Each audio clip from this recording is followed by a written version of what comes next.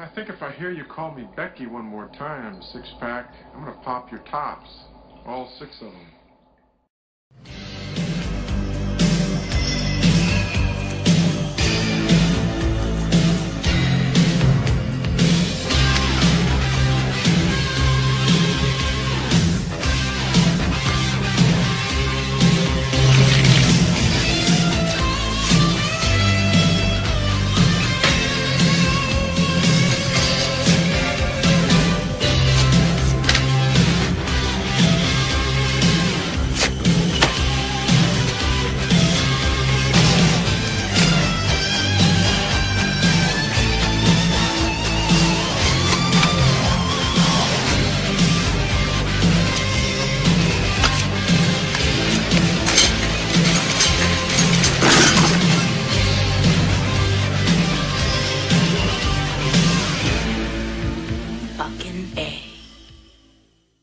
Who's your best buddy? Reggie. That's right. And who's my best buddy in the whole wide world? Ruby Doo. Let's get jinky with it. Scooby Doo. Oh my god. No one is stupid enough to believe that. Who's the ugly old broad? Rank you. Rank you. Rank you.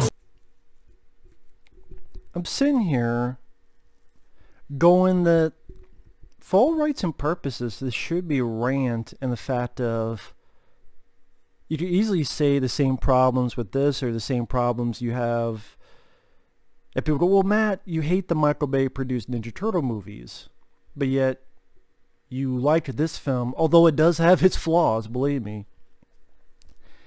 And I, I can't I watch it again I can't hate this film. I don't like the second one which again was going to weird people out like wait a minute what? I know I know I grew up with the Scooby-Doo cartoon. I grew up watching the show. Sadly, I don't think I have them anymore. like to get them again. But I remember as a kid watching a lot of the episodes of Scooby-Doo Where Are You? Watching Scooby-Doo and the Boo Brothers, Scooby-Doo and the Reluctant Werewolf, and highly enjoying them. I remember when this came out and I was really excited for it. I mean, I watched Scooby-Doo so much. I remember for a little marathon, they had a Scooby-Doo interstitials that were like the Blair Witch Project, and you can find them on YouTube. But it was like a marathon, and then every once in a while, between commercials, they'd have like a little Scooby-Doo interstitial thing that uh, was reminiscent of the Blair Witch Project. That's how much I followed Scooby-Doo, and I had heard that the movie was coming out, was really excited, and saw it in the theater and really enjoyed it. And while I watch it again, there's scenes I don't care for. The fucking fart scene that could easily be cut out, easily be cut out from the movie. It's very risque. I guess at one point they wanted this to be R-rated, and more because it's written by James Gunn. And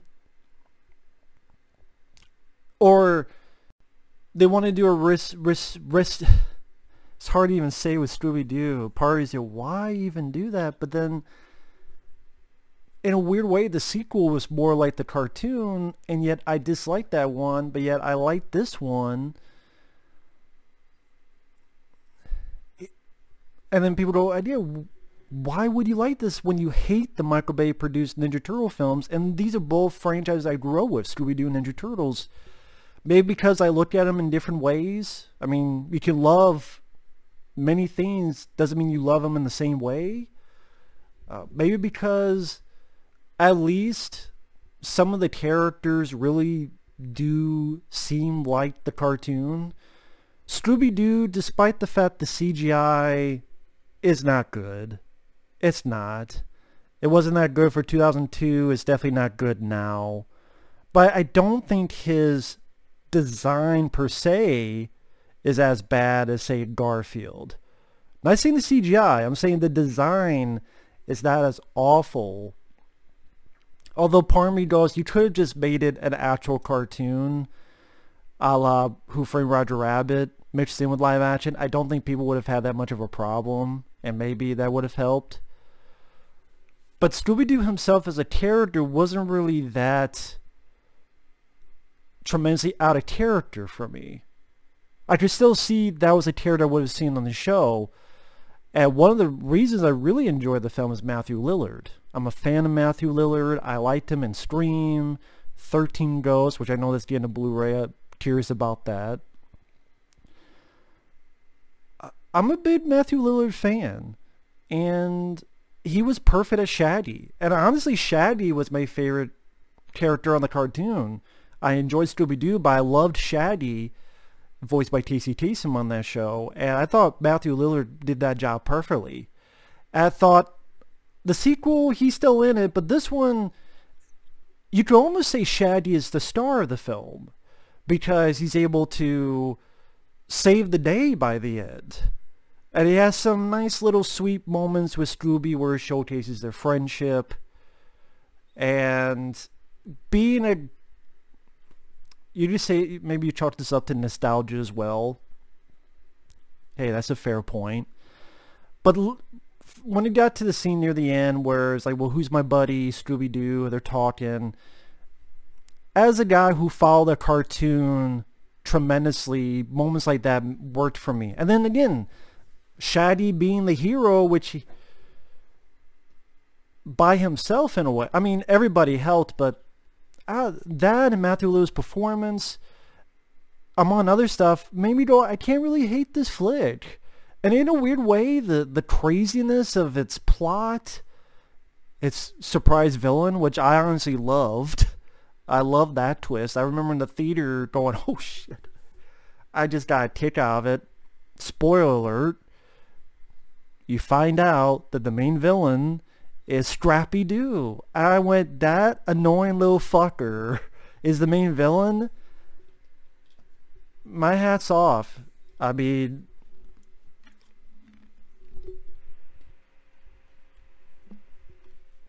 I know a lot of people got pissed off about that. I didn't because I love Scooby-Doo and the Boo Brothers. I love Scooby-Doo and the Reluctant Werewolf. Trust me, it wasn't because of Scrappy-Doo in them. I like the stories, Scooby, Shaggy, the other weird characters they met. Scrappy-Doo, though, I always thought was an annoying little fucker. I never liked Scrappy-Doo. And then the fact that made the villain and he got his ass hit, I'm like, yes. Uh, so that was ballsy. Yes, if everything's subjective and everybody has different opinions and different perceptions and diff- look at it from different angles, if this was a character I liked and made for a villain, I can understand being mad and angry. Trust me, I can understand that. But I can't, I'm not in that ballpark, so I can't say that. So the fact that they made Scrappy-Doo a fucking villain, I thought was rather fucking ingenious. And the soundtrack is weird, but kind of catchy, interesting.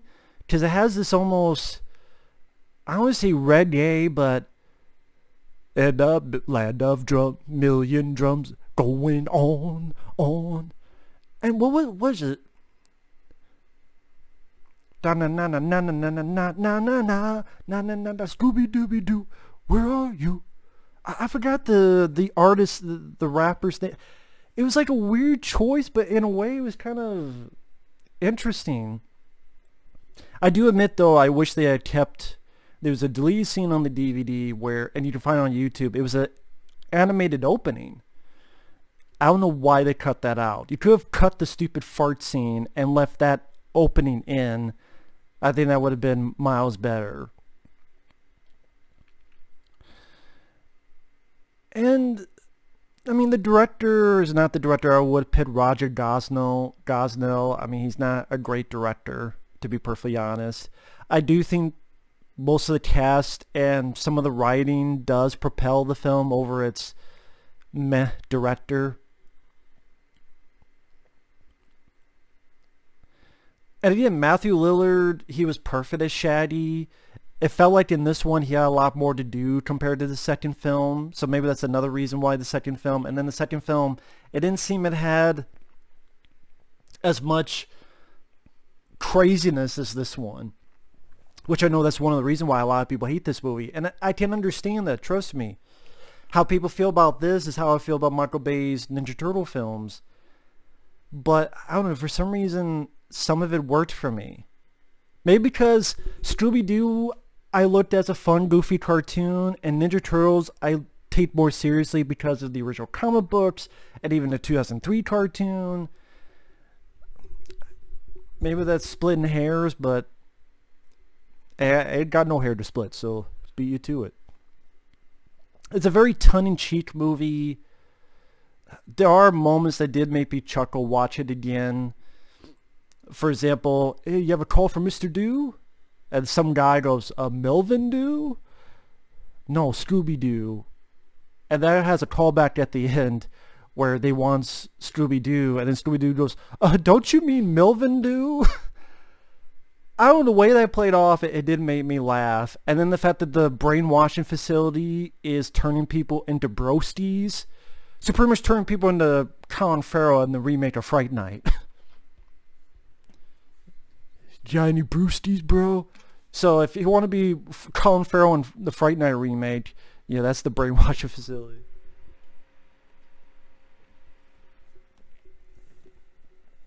It seemed like a guy who I do think probably was a fan of the show, but wanted to... And maybe it's weirdness kind of makes it why I can watch some of it as a grown man who has seen so many cartoons and then maybe because of how kind of risque in a way way ballsy it was at times. I mean almost 10 minutes in I haven't even talked about the plot the plot is they're all on a case like usual. This time it's the Luna Ghost. Matthew Lillard is perfect. There's a ghost behind me. Ghost right behind me isn't there? They both get caught in this barrel and like a lot of the cartoons Scooby and and Shaggy, they mess up, but they ultimately do catch the ghost, even if it's by accident or fate or by chance. Call it fate, call it luck, call it karma.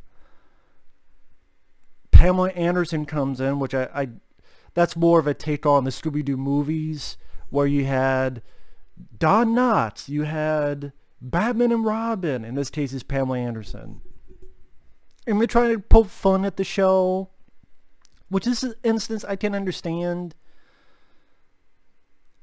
Things go a little bit if a little bit haywire and the group disbands.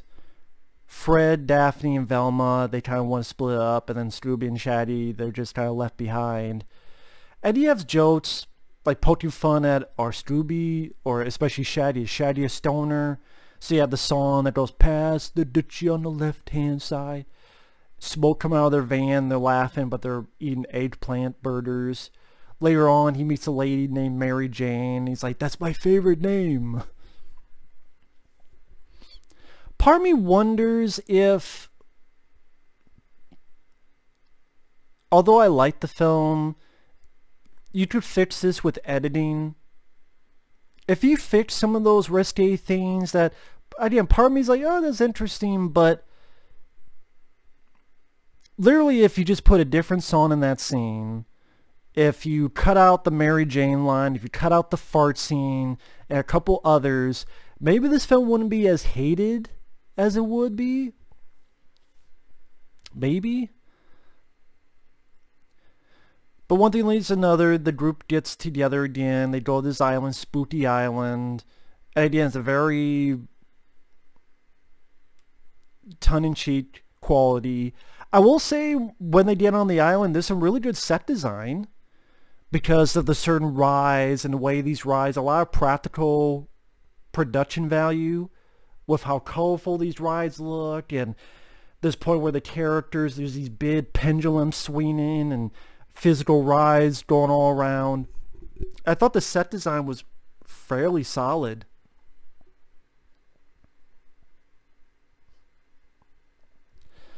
Uh, there's these purple monsters, very shitty CGI, to be perfectly honest. That's one thing I would give the second film as I thought, A, the CGI was a bit improved, and second off, there were some practical effects mixed in with the ghostly villains. Plus, they were villains from the cartoon. The the Black Knight, the, the Miner 49er. So while I'm not a big fan of the second film, that is one uh, positive note I give that film.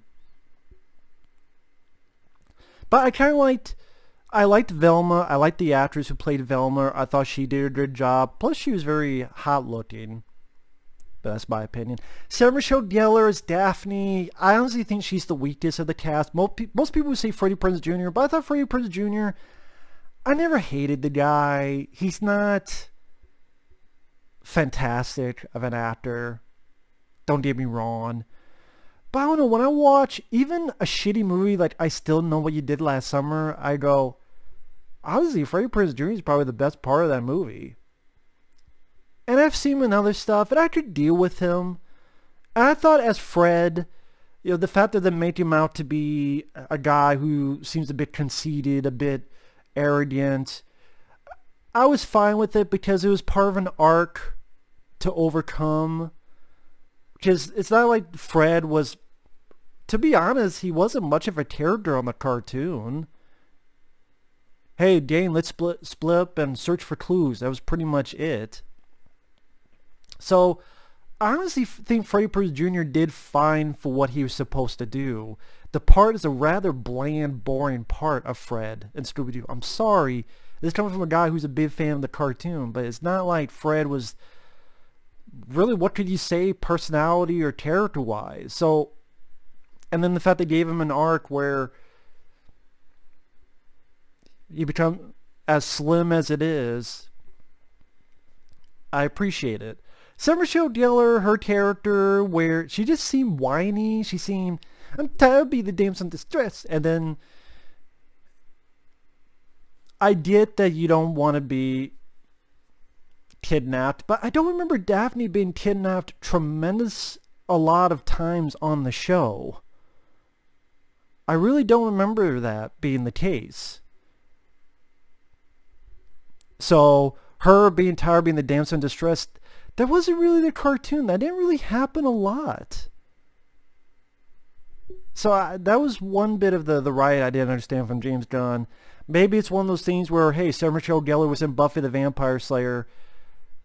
Okay, would I have her fight? Why does she fight? his, hey, being a female, she's the hot lady. Although I thought Velma, she's a beautiful lady. I like Sarah Michelle Gellar as an actress, but I think Velma in this was hotter, to be honest. I want to get the actress's name. I thought she did a good job, but oh, just the way, maybe it's the way the character was written. Maybe both in this, I just thought she was the weakest. I think there's other people you could have gone for it. But yeah, maybe, maybe it's the writing. You know, as much as I think James Gunn didn't do as bad as people make out to be, her writing was not that good either, to be perfectly honest.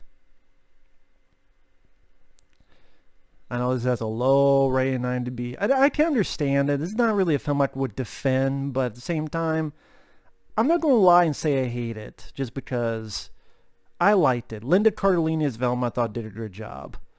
You also have appearances by Rowan Atkinson, A. Nunez Jr., who I remember from Carnosaur 2 and Friday the 13th Part 5 and Return of Living Dead, and most people remember him from Juwanna Man.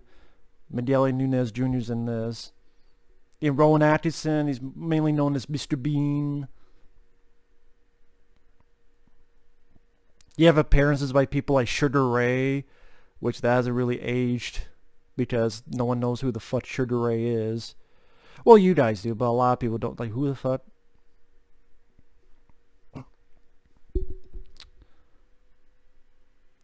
I'm looking up some trivia before I go on. Apparently, The film was originally set to have a much darker tone, essentially poking fun at the series, much like the Brady Bunch movie.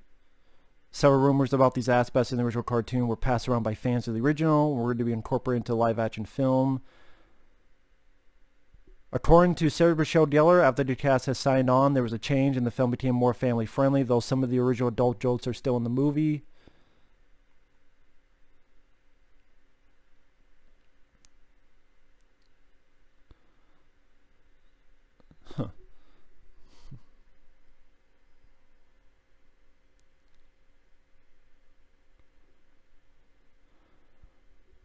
Apparently people like Jim Carrey and Mike Myers expressed interest in playing Shaggy. Interesting, but yeah, I thought Matthew Lillard. Obviously, I'm not alone because Matthew Lillard was the voice of Shaggy in quite a few of the animated Scooby-Doo cartoon movies. I forget which ones. I'm sure there's a list, but I did not. Thought that was pretty good. Really good choice.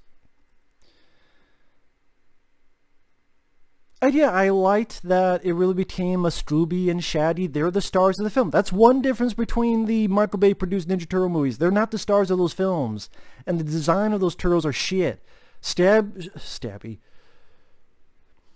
That's what those fucking turtles are. They're stabby. They're the stabs on your ass.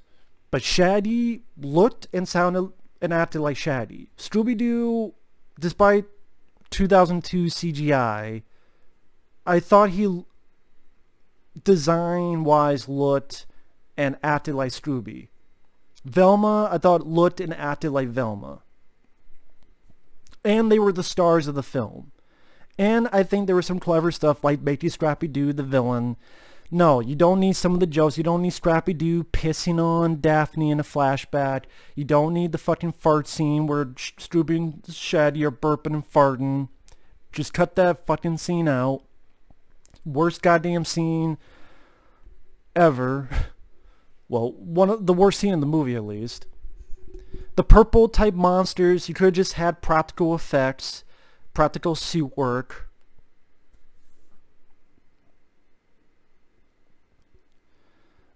But at the same time, there, I, I was still having fun with a lot of it. I was still having fun with even the physical dad Scooby would do that remind me of the show, like him tiptoeing around behind a bed and trying to do stuff, which would happen a lot on the show to get the monster to like him, like in this case doing the monster's nails or something. Like it would do that silly stuff in the cartoon. Or little stuff. It's the little stuff. Like Velma saying, I always knew you were a hero, Shaggy. Or Scooby being told that he's going to be a sacrifice. He's like, a sacrifice? And he's smiling because he doesn't get it. there are moments that made me chuckle. Me? Don't you mean Melvin do? So, I don't mind the soundtrack. I thought a good chunk of the cast, other than Sarah Michelle Gellar, did their jobs fairly well. Matthew Lillard was fantastic in it. Uh, the effects don't hold up. They probably didn't hold them 2002, let alone 2020. There's scenes that were cut out and there's problems in there, but I thought it had enough of a heart, enough of sort of a ballsy, risque factor, like making Scrappy-Doo a villain, which there are people who liked him and people who were pissed off about that. But I'm not one of them. I'm quite the opposite. People like Velma, Linda Cardellini, they did a solid job. Uh, the set design, the, the way the film looked, it just made it trying to be unique. Maybe this is how people feel about the Transformers movies. Maybe this is what people feel about the Michael Bay produced Ninja Turtle films, and maybe, maybe that's how they view them. Is how I view this. I don't know. Maybe. Maybe. And then I'll get to the second one because I recorded that right after I watched it because I would forget that one. So you don't see a different background in that video. But in a weird way, it I keep mentioning the Michael Bay produced Ninja Turtle films because they're both two movies that were going to have a third film. And the third film got canceled because the second film underperformed. Even though the second film was supposedly more to fans' liking than the previous one and the first of those franchises were a little bit darker or ris- risque or, I mean that film had boner jokes and this has fart jokes you know they both have fart jokes. It, and yet I don't know it's just weird but in the second Scooby-Doo film I don't like because I didn't like the story they told I didn't like the I didn't really feel anything that unique or memorable. Like here, I remember the, the stuff I was talking about, some of the, the jokes and the, the heart between Scooby and Shaggy. I, I liked that bit. And Matthew Lillard seemed he had more to do in this one. He seemed like almost the central focus, which I thought was the right decision at the end of the day. But Scooby-Doo is also a central focus as well, because he's the title of the movie. Again, the the villain choice I thought was inspiring, inspired in this. So yeah, I know I should hate the film, but I don't. I can't hate the film, and so I won't. I do like the film despite its flaws. I had fun with it.